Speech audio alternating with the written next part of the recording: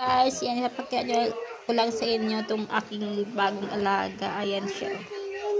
Ayan. Meron siyang mata. Kaya yan siya. Ayan. Pang 4 days niya ito ngayon. Pero tingnan nyo, ang dami niyang ano, buhok. dami niyang buhok. Guys, di ko alam kung ano tawag dito sa kanyang buhok na ito. Yung tawag na halaman. Dalawa yan sila. Ito isa is Iyan naman ay blue. Ito naman is color pink. Ayan. Ito, medyo konti lang yung kanyang buhok.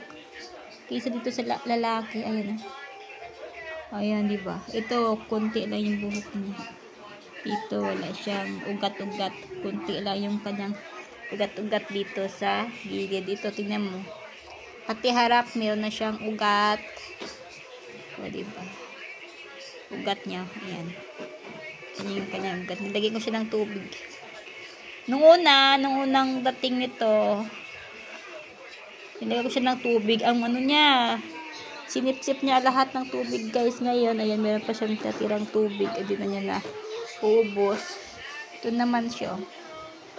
O, diba? Ayan, 4 days pa lang to guys, pero ano na yung buhok nila, mahahaba na. Ito, pag mahaba na, pwede mo siyang DIY, pwede mo siyang itali guys. Kaya ayan. O, diba? Maganda. Maganda sila parang ano.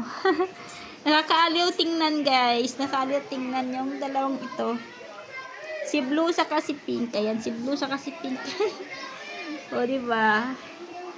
Ayan lang for today's video. And update ko kayo sa susunod kung medyo mahaba na yung kanyang buhok. Tatalian natin siya guys. Ayan, diba? Galit siya ng tali. Okay, bye!